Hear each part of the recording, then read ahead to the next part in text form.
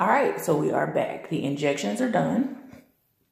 Um, and you all can see in real time, show you from both mirrors. I have two mirrors in my bathroom. Um, this is, you know, my body in real time.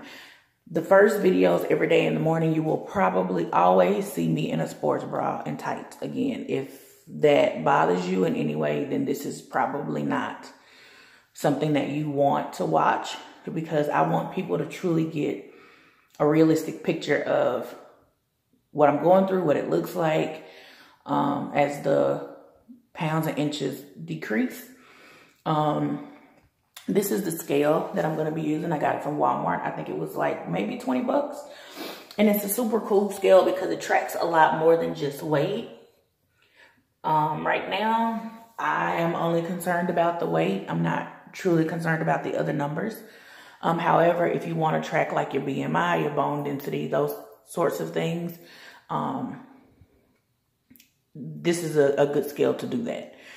So I am going to get on scale since this is day one for us. And we will track every week what the pounds say. So,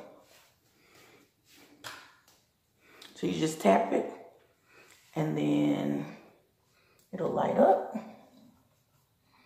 Step on the little silver bars. So 366.4 pounds is what we're starting at.